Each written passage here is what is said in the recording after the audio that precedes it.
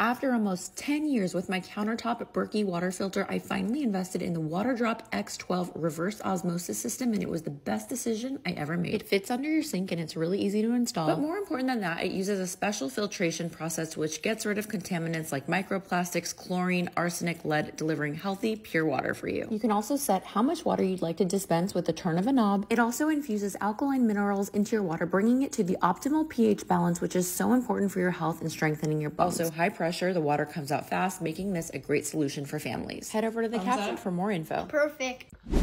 So glad she got rid of her Berkey. Just like with Brita and PUR filters, the amount of contaminants that exist within tap water, the Berkey system can't handle it. Uh, great she's going with reverse osmosis. Um, the only thing is, is that when you add minerals back in, make sure that you're adding a lot of them. There's uh, about 14 to 21 different minerals that the body needs, and you can't just have calcium and magnesium and that be it. But great on her for getting rid of Berkey.